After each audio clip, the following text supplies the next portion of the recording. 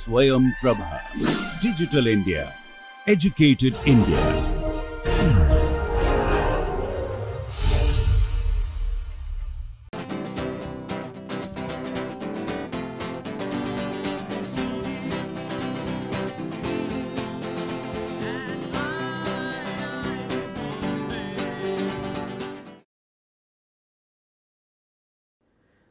Welcome to the next lecture on inorganic chemistry of life.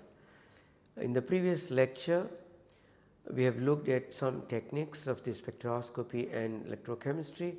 This is NMR spectroscopy, nuclear magnetic resonance, electron spin resonance spectroscopy and then also electrochemistry. All of these are extremely useful techniques for uh, studying the reaction dynamics, product formation, all these kinds of things are the enzyme related ones, protein related things as well. Now, let us look at another uh, technique uh, uh, next to that is called the extended X-ray absorption fine structure spectroscopy. Its short form is generally referred as the uh, is referred as EXAFS EXAFS so, extended X-ray absorption fine structure spectroscopy. Uh, what is this used for? Why is this used? This is used basically to get in a metalloprotein or a metalloenzyme. There is a metal ion, there are side chains are attached either through O or N or S or a combination of these that is called primary coordination. So, in order to get the primary coordinated atoms to the metal center, one can use this particular spectroscopy which is called extended X-ray absorption fine structure spectroscopy. It is uh, the fine structure coming from the X-ray absorption method and that is what we uh, look at. And uh, the we will come to the principle just in a while uh, and therefore, uh, this is very useful. another aspect why people use EXAFS why not crystal structure? We have already talked to you a few lectures prior to this X-ray crystallography. We talked about different resolutions. You can get the entire protein to a resolution to a very high resolution as well. But when you have such a thing, why do you want to use this one? Uh, for uh, X-ray diffraction, you need a single crystal. For EXAFS uh, data, you do not require a single crystal. The sample can be in the form of a solution, it can be form of a powder, it can be any form. There is no necessity of having a single crystal to be uh, used. So, therefore, in such cases we use uh, extended X-ray absorption fine structure. However, the information is very uh, very much limited. So, that means you get primarily the primary coordination sphere, but not entire protein structure whereas crystallography you get the entire uh, protein structure that is one difference. But in some cases we require that to know the metal bound region etc. The second thing is that it is not uh, uh, you know simple to use this to uh, to resolve the fine structure that you got.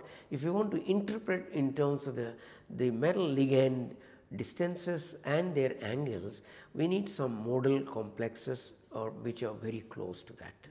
So, therefore, one needs to study the uh, studies even on the model complexes too. So, require uh, uh, some model complexes.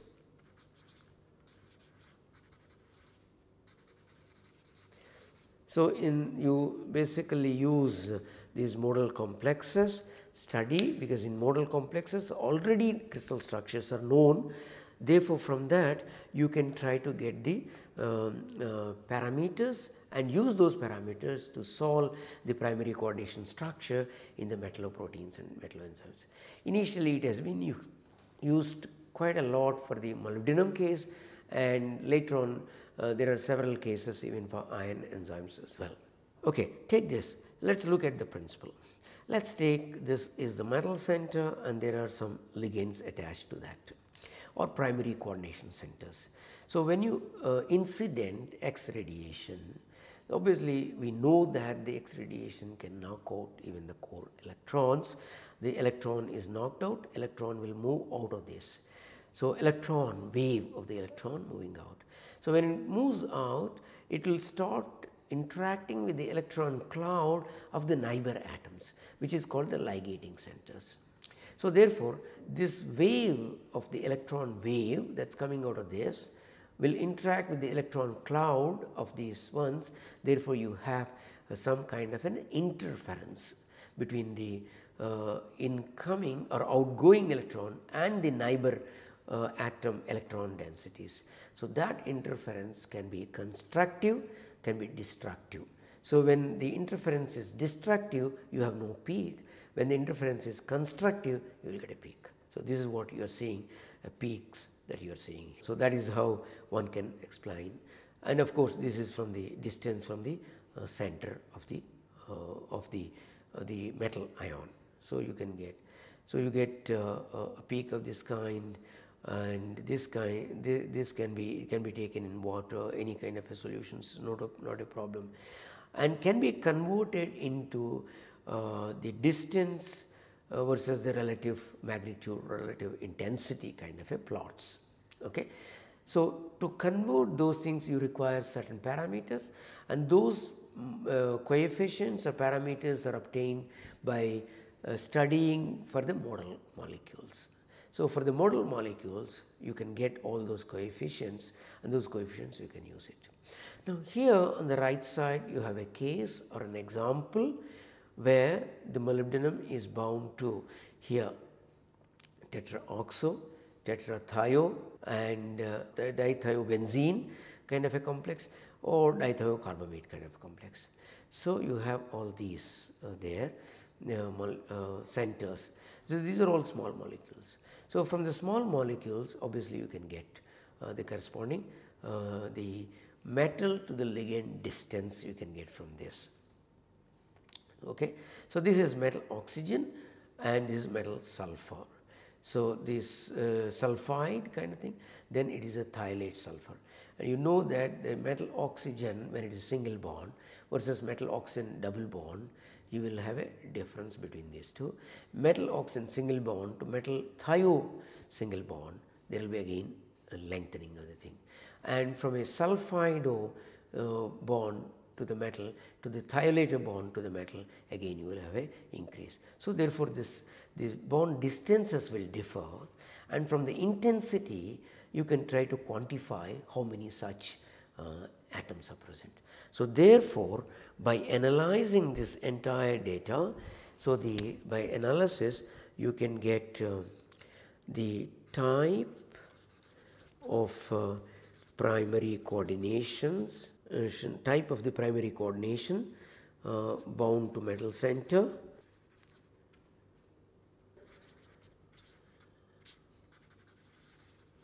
bound to metal center or you can also uh, uh, get the number of of such coordination centers. So, essentially you can get coordination number and the metric data from the metal to the ligand distances. So, ML and uh, coordination number. So, these can be obtained uh, ML distances and the coordination number.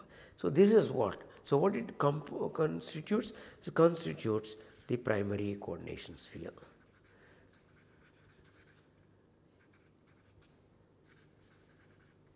So, one can resolve the primary coordination sphere using EXAFS uh, technique. So, uh, that is uh, to make it simple I have not taken you to more examples etc., and it can be uh, studied. All that you require is sample can be in any form, it can be liquid, it can be solution, it can be anything or it can be you know put on something else, anything can be studied can be studied water solutions etc., but you require some model molecules. So, some model molecules will help you to get these coefficients and the coefficients will, will help you to solve this, solve this particular spectrum into a useful, useful means distance relation, distance and intensity this one. So, you have to convert from this to a distance. So, this is coming from the interference, this is upon after conversion by using certain kind of a transformation, certain kind of a Fourier transformations you will get this. So, this is actual spectrum transform, this is the raw data. So, raw information from this you can get this one. So, let us now look at another technique which is a nuclear technique. So, nuclear transitions we have looked at uh, nuclear spin transition earlier, electron spin transition and, uh, and now we look at the nuclear transition. Okay. So, the nuclear transitions uh, are basically uh, in the gamma radiation. So, they are very high uh, in energy. Nuclear transitions are uh, gamma radiation. So, very high energy. So, these are from a nuclear transition. To understand this uh, background for this you need to understand the just like electron distribution nucleon distribution there is something called nuclear shell model just like we have the electron shell model Bohr shell model. So, similarly you have. So, that will talk about the placement of protons, placement of neutrons etc. But that will be outside the scope of this particular course. So, I am not going into the details of this. Rather I will try to take uh, you through the utility of this, how one can use it, what is the simple basic uh, the principle associated with it. In the NMR what have we looked at? We have looked at the, the chemical shift. So, in the in the Mössbauer what you will see equivalent to that chemical shift is called the isomer shift. So, this is referred as the isomer shift. So, what is this isomer shift and how does it come? Isomer shift, suppose you take uh, uh, these uh, the nuclei should have a I value first of all uh, in order to study the Mössbauer and most commonly studied is the iron. So, iron and iron complexes, iron proteins etc. Iron containing proteins all of these are well studied. You can study many other nuclei, but uh, not so much of important. Iodine can also be studied. So, you can study for iodine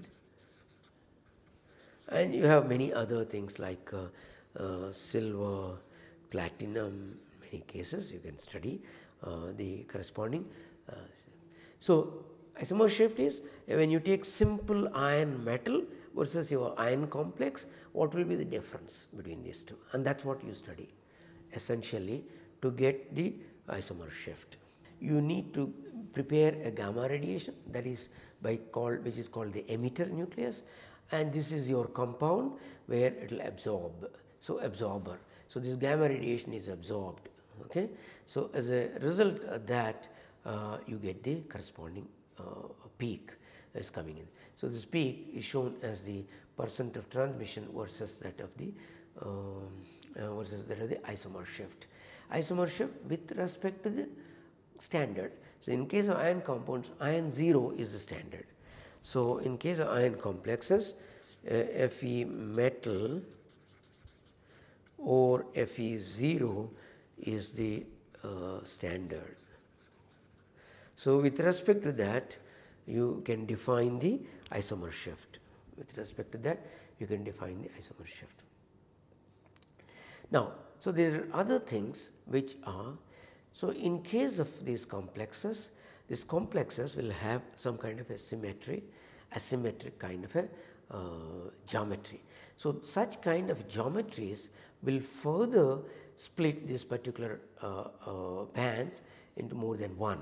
So, you can see there are two uh, uh, peaks are coming out of the one that is what is called the quadrupolar coupling or quadrupolar uh, shift that comes into uh, these ones because the nuclei uh, nuclei having a quadrupolar uh, system. So, therefore, quadrupolar nuclei means greater than 1 uh, i is equal to greater than 1. So, this is quadrupolar nuclei will couple with this transition and give the splitting and that gives the quadrupolar uh,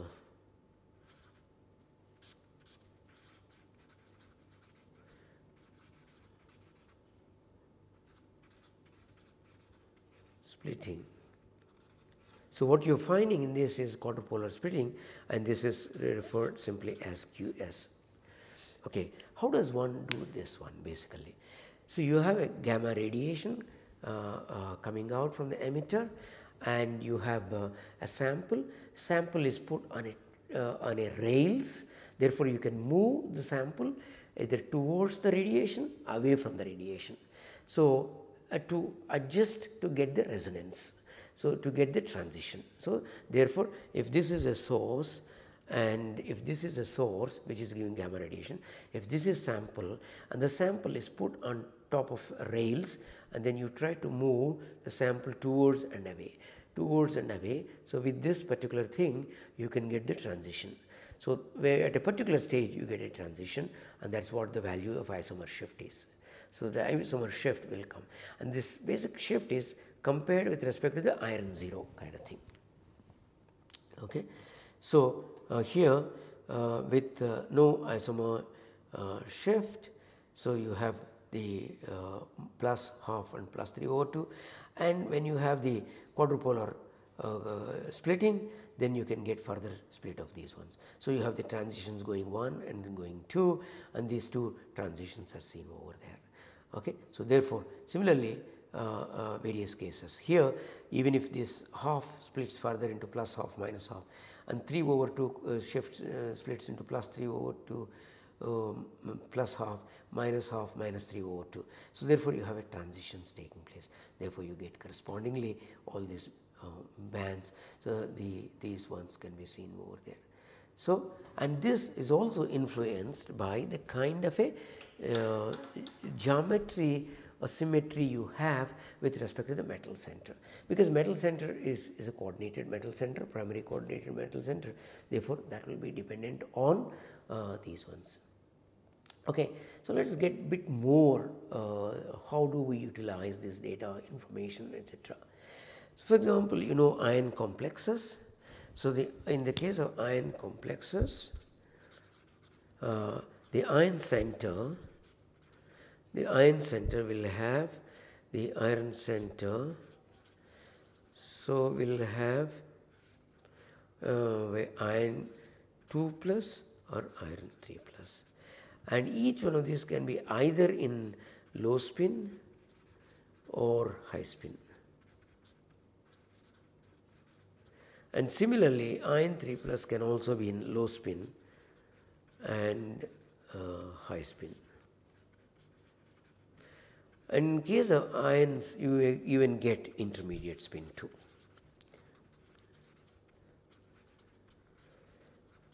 So, I would like to inform you the one of the most important techniques that can differentiate iron 2 plus whether it is in a, a ferrous, whether it is a ferric and whether it is in a high spin a low spin. So, ferrous ferric 2 forms, high spin low spin 2 forms 2 into 2 4 different forms.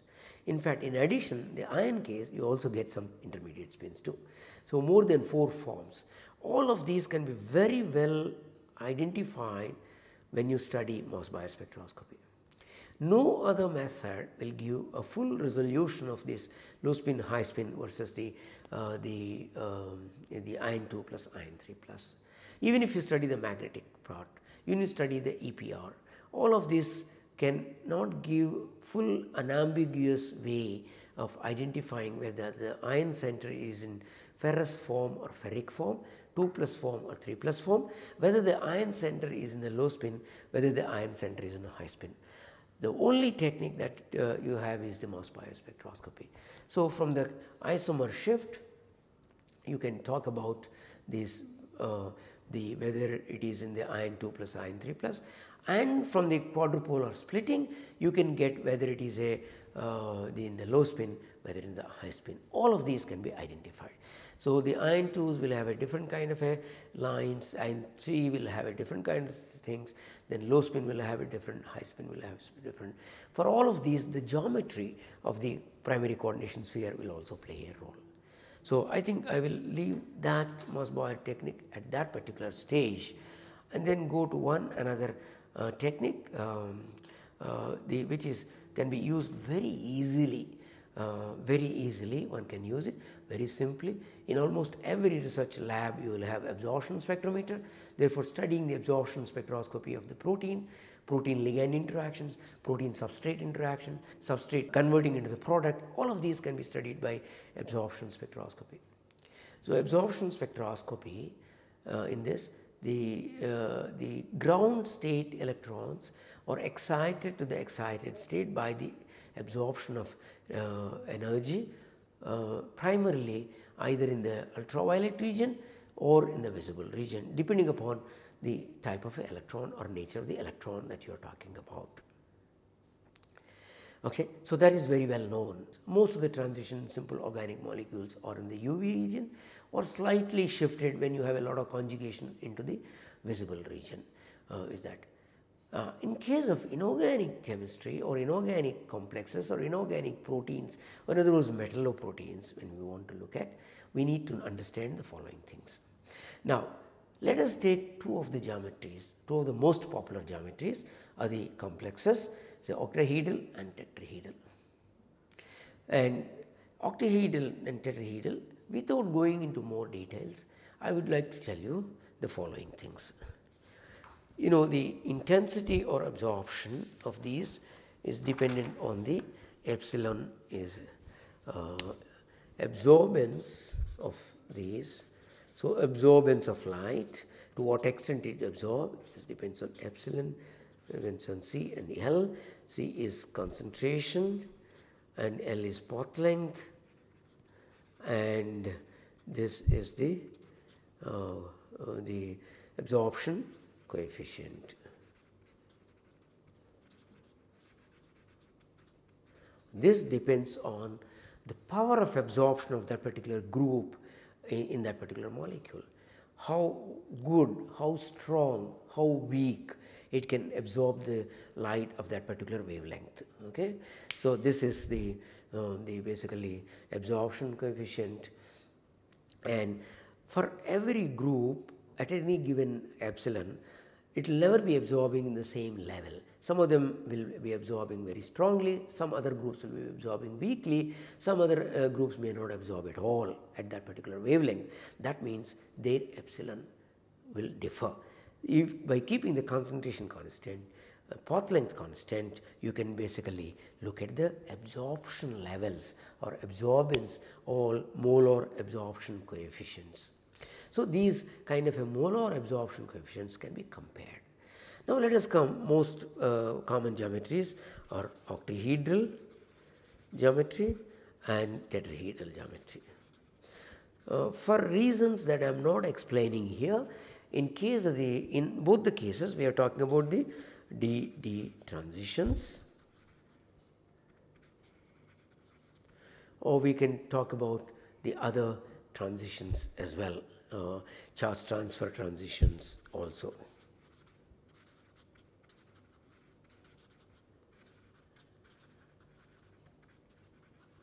So, these are the transitions that we look at. Now, you look at this particular plot, it shows the, the what is plotted here is a molar absorbance or epsilon molar. On this side, this is meant for the octahedral and on this side, it is meant for the tetrahedral. So, what do you see in this?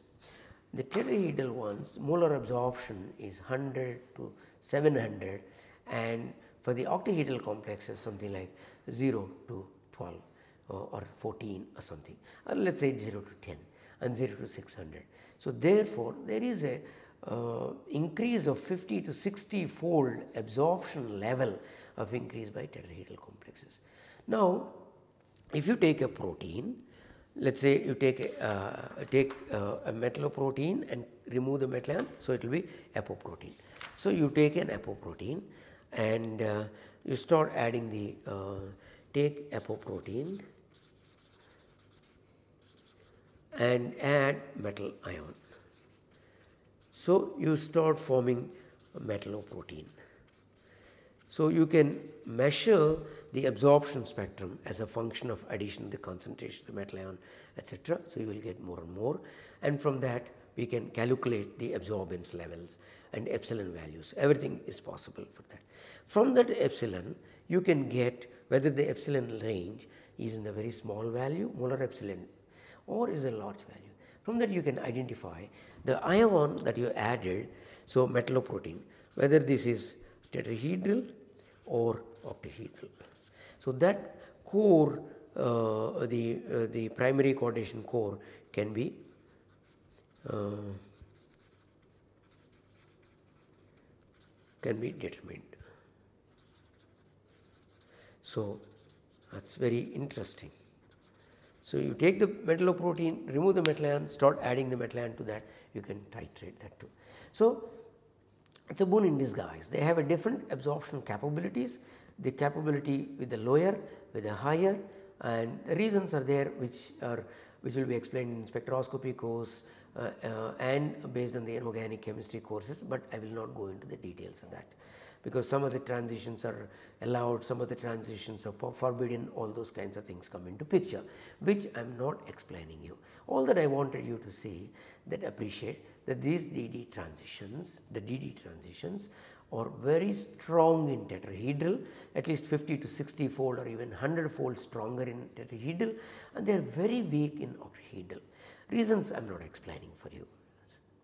Now take some example case here over here and you take glyglide, digly is a peptide.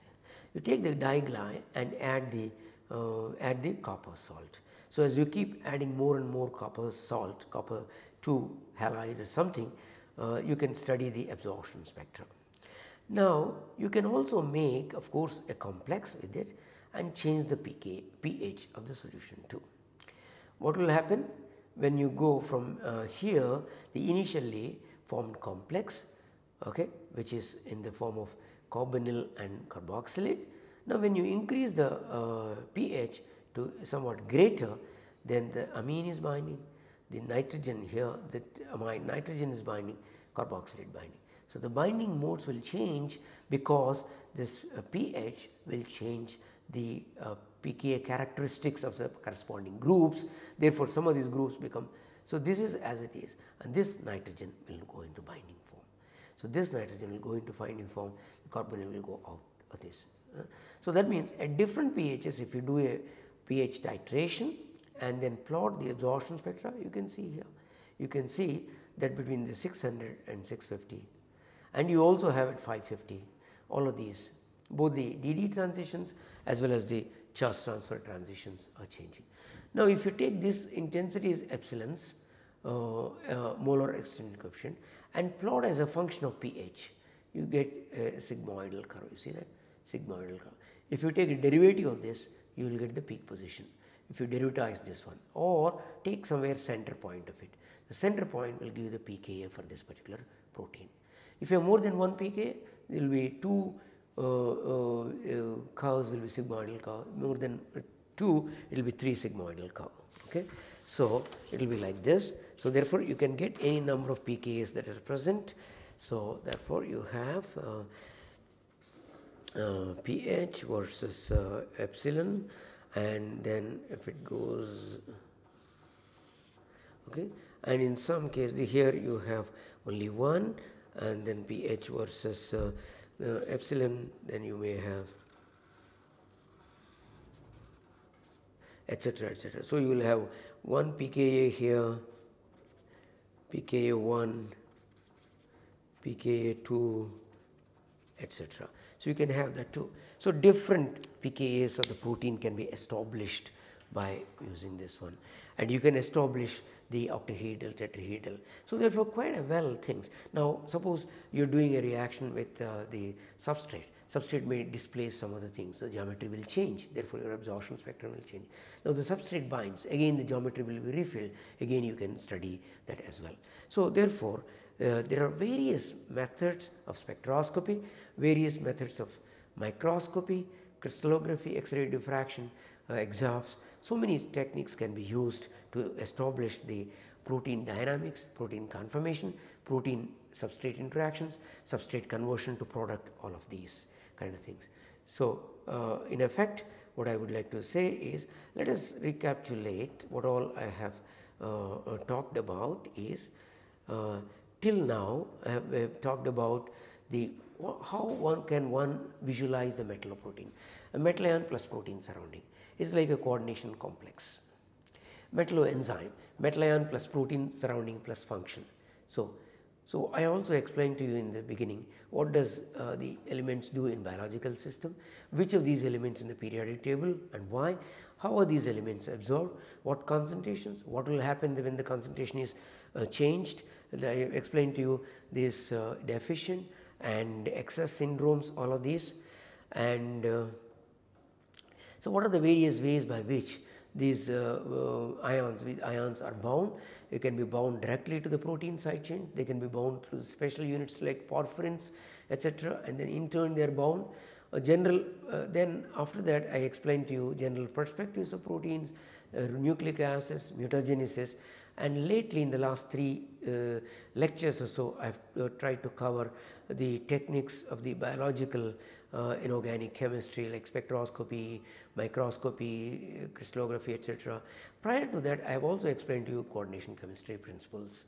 So, this will bring to a kind of a conclusion of the overall uh, integrated introductory approach to uh, this particular uh, uh, course of introducing metal introdu uh, introduction metal, metal ions and the fun, fun inorganic uh, inorganic chemistry of uh, life. In that inorganic chemistry of life, these are all very introductory and these introductory things are useful both for the bachelor student as well as master students who will be continuing the course further. Thank you very much.